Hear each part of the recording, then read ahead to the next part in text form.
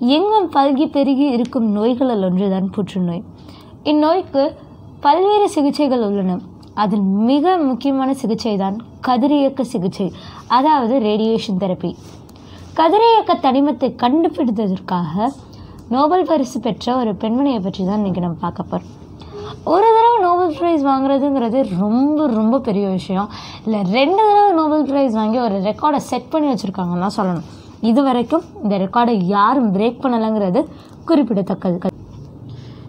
இவரின் சாதனை பயணம் பூமெத்தைகளால் விரிக்கப்பட்டது இல்லைங்க வறுமை நிலையில் படிக்க கூட முடியாத ஒரு வீட்டில் இருந்து வந்தவர் தான் மேரி கியூரி இது பாலசத்யா அப்படிங்கிற எழுத்தாளர் எழுதி மேரி கியூரி அப்படிங்கிற பேரோட வெளிவந்த ஒரு தமிழ் புக் தான் இது.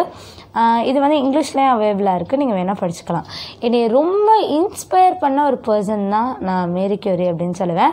ஸோ இந்த வீடியோவில் நிறைய உங்களுக்கு தெரியாத இன்ஃபர்மேஷன்ஸும் இருக்கும்னு நம்புகிறேன் ஸோ வீடியோ ஸ்கிப் பண்ணாமல் வீடியோவை கடைசி வரைக்கும் பாருங்கள் மேரி கியூரி எனும் இவர்தான் அச்சாதனை நாயகி. மரியா ஸ்க்ளோடவுஸ்கியா என்பது இவரின் இயற்பெயர். எயிட்டீன் சிக்ஸ்டி செவன் அதாவது ஆயிரத்தி எண்ணூற்றி அறுபத்தி ஏழாம் ஆண்டு நவம்பர் ஏழாம் தேதி போலந்தின் தலைநகரமான வார்சாவில் பிறந்தார்.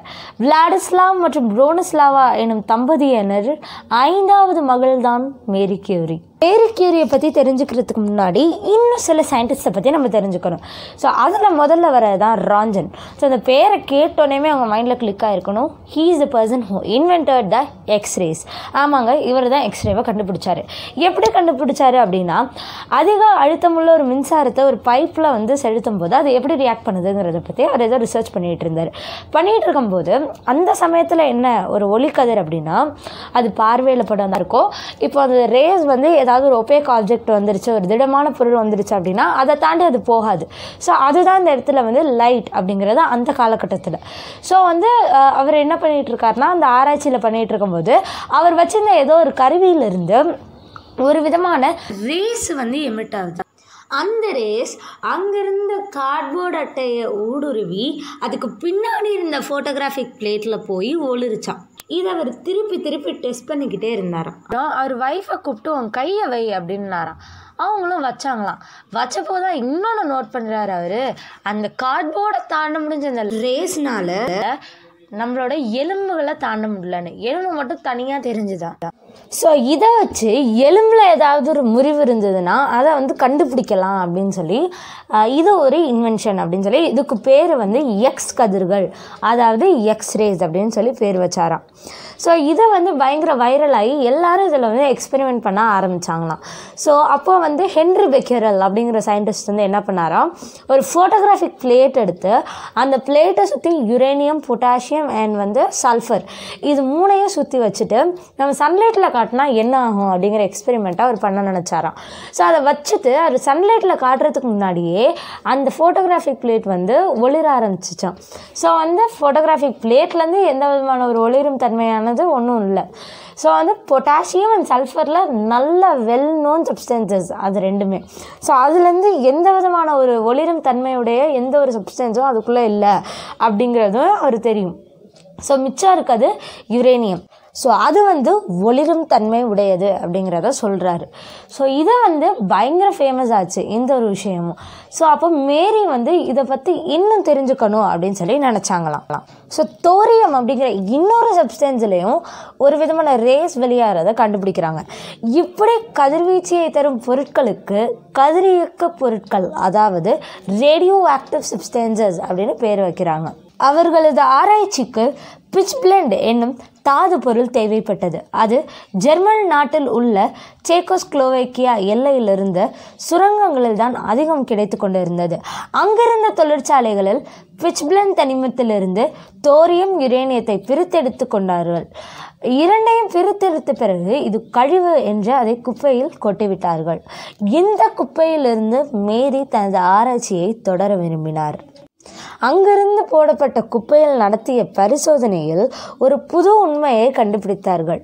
சுத்திகரிக்கப்பட்ட யுரேனியத்தில் கிடைக்கும் கதிர்வீச்சியை விட பிச்பிளண்டின் கழிவில் கிடைக்கும் கதிர்வீச்சு அதிகமாக இருப்பதை கண்டார் மேரி கியூரி யோசித்தா உடனே புரியுதா அவங்களுக்கு தோரியம் யுரேனியம் தவிர அந்த குப்பையில் இன்னுமே கதிர்வீசும் பொருட்கள் அதிகம் இருக்குது அந்த தனி அதாவது அந்த சப்ஸ்டன்ஸ் வந்து யுரேனியம் போல் முந்நூறு மடங்கு அதிகமாக இருந்துதான் ஸோ அந்த குப்பையிலேருந்து சொன்ன மாதிரியே இன்னொரு தனிமத்தையும் கண்டுபிடிச்சிட்டாங்க.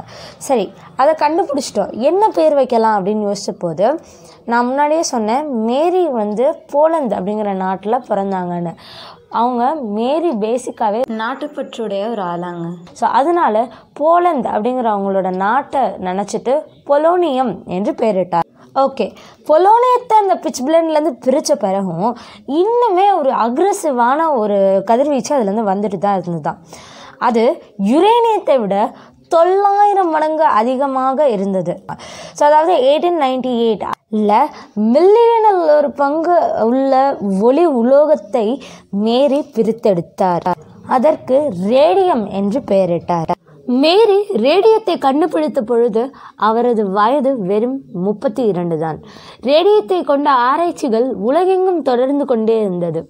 ஆயிரத்தி தொள்ளாயிரத்தி மூணாம் ஆண்டு ராம்சே அண்ட் சாடே என்ற அறிஞர்கள் ரேடியமிலிருந்து ஹீலியம் என்ற கேஸும் வெளிவருது அப்படின்னு சொல்லி சொல்கிறாங்க ஏர்னஸ்ட் ரூதர் ஃபோர்ட் அப்படிங்கிறவர் ரேடியத்துலேருந்து வெளியாகிற ரேஸ்க்கு ஆல்ஃபா பீட்டா காமா அப்படின்னு சொல்லி பேர் வச்சாராம். வாக் ஆஃப் அப்படிங்கிற இன்னொருத்தர் என்ன சொல்லியிருக்காரு அப்படின்னா ரேடியம் புண்ணை ஆற்றுகின்ற சக்தி உடையது அப்படின்னு சொல்லி கண்டுபிடிச்சிருக்காரு. இதை மேரி பரிசோதிக்க ஆசைப்பட்டார். ரேடியத்தை தன் கையில் வைத்தார். கை வெந்து போயிடுச்சாங்க. அது சரியாகவே நாற்பத்தஞ்சு நாள் ஆச்சான் அவர் இன்னொன்னே செஞ்சு பார்க்கணும்னு நினச்சாராம். ஒரு தடிமனான கண்ணாடி பாட்டில் எடுத்து அணு அளவில் ரேடியத்தை வைத்து புண்ணன் மேல் ஒத்தடம் கொடுத்து பார்த்தாராங்க புண் உடனே ஆறிப்போனதாக கவனிச்சாராம். இதை வந்து மேரி என்ன நினச்சாங்கன்னா தோல் வியாதிக்கு இந்த ரேடியம் அருமருந்தானது அப்படின்னு சொல்லி ரேடியம் மருத்துவமனைகள் பயன்படுத்தப்பட்ட அதற்கு கியூரி தெரப்பி என பேர் வச்சாங்களாம். ஆயிரத்தி தொள்ளாயிரத்தி மூணாம் ஆண்டு மேரியின் ரேடியோ ஆக்டிவ் சப்ஸ்டன்சஸ் என்ற கட்டுரைக்கு டாக்டர் பட்டம் வழங்கப் போவதாக சார்போன் யூனிவர்சிட்டி அறிவிச்சாங்களாம். அறிஞர் சபையை கூட்டி பல கேள்வி எல்லாத்துக்கும் மேரி சும்மா டக்கு டக்குன்னு ஆன்சர் சொன்னாங்களாங்க. ஸோ அதுக்கப்புறம் அவங்களுக்கு டாக்டர் பட்டத்தை கொடுத்தாங்களாம். திருப்பி ஆயிரத்தி தொள்ளாயிரத்தி மூணாம் ஆண்டு ஸ்வீடன் அறிவியல் கழகத்திலிருந்து அவங்களுக்கு வந்து Nobel prize first Nobel prize வந்து கொடுக்கலாம். யார் யாருக்குன்னா Marie Curie Pierre Curie Henri Becquerel அவங்க மூணு பேருக்கும் கொடுக்கலாம் அப்படிங்கும்போது மேரிக்கு அந்த ரேடியோ ஆக்டிவ் சப்ஸ்டன்சஸ் பக்கத்துலேயே இருந்து இருந்து அந்த ஆய்வினாலேயே அவங்களுக்கு வந்து உடம்பு சரியில்லாமல் போனதுனால அந்த முதல் அவார்டையே அவங்களால போய் வாங்க முடியலையாங்க. மறுபடியும் ஆயிரத்தி தொள்ளாயிரத்தி பதினொன்றாம் ஆண்டு நைன்டீன் லெவனில் ரேடியம் மற்றும் பொலோனியம் கண்டுபிடித்ததற்காக அவருக்கு இன்னொரு நோபல் ப்ரைஸ் தந்தாங்களாம். அப்போது ரேடியத்தை எப்படி க்ளீன் பண்ணி அதை எப்படி யூஸ் பண்ணால் நமக்கு நல்லது அப்படிங்கிறதெல்லாம் தெல்ல தெளிவாக சொன்னாங்களாம். அவங்க அதை சொல்லாமல் ஒரு பெரிய மில்லியன் பில்லியனராகவே ஆயிருக்கலாம் ஆனால் அவங்க அதை அப்படி மறைக்காமல் எல்லாருக்கும் சொல்லி இப்போ அது ரொம்ப முக்கியமான தெரப்பியாக இருக்குதுங்க. ஒரு நாளைக்கு பதினான்கு மணி நேரம் வேலை செய்தாராங்க மேரி கியூரி இவங்க இப்படி கான்ஸ்டண்ட்டாக அந்த ரேடியம் பக்கத்தில் இருந்து இருந்து இரத்த சோகை நோய் அதாவது ஏ பிளாஸ்டிக் அனிமியா அப்படிங்கிற டிசீஸ்க்கு அவங்க ஆளானாராங்க. மனித உயிரை காப்பாற்றுறதுக்காக கண்டுபிடிச்ச ரேடியம் அவங்க உயிருக்கே எமனாக வந்து சேர்ந்ததாங்க.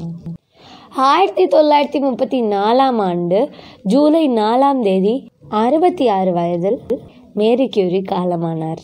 சரி ஓகே இவ்வளோ தூரம் நீ சொன்னது வந்து மேரி கியூரியோடைய சாதனை பயணம். ஸோ இதில் என்ன அமேசிங் ஃபேக்ட் இருக்குது அப்படின்னு கேட்டிங்கன்னா அந்த கதையே ஒரு அமேசிங் ஃபேக்ட் தான். பட் இன்னும் ஒரு அமேசிங் ஃபேக்ட் அண்ட் புதுசாக நான் இப்போ ரீசெண்டாக தெரிஞ்சுக்கிட்டது என்ன அப்படின்னா மேரி கியூரியோடைய டைரி ஒன்று இன்னுமே ரேடியோ ஆக்டிவாக தான் இருக்குதாங்க உங்களில் சில பேருக்கு இது தெரிஞ்சிருக்கலாம் பட் நான் தெரியாதவங்களுக்கு சொல்கிறேன் ஸோ இந்த வீடியோவை எண்டு வரைக்கும் பார்த்தவங்களுக்கு இந்த கதையை கேட்ட பிறகு ரொம்ப இன்ஸ்பைரிங்காகவும் நம்மளும் ஏதாவது சாதிக்கணும்னு தோணுதில்ல? ரேடியேஷன் தெரப்பி இருக்கும் வரை மேரியின் புகழும் இருக்கும். इपड़क रक्ष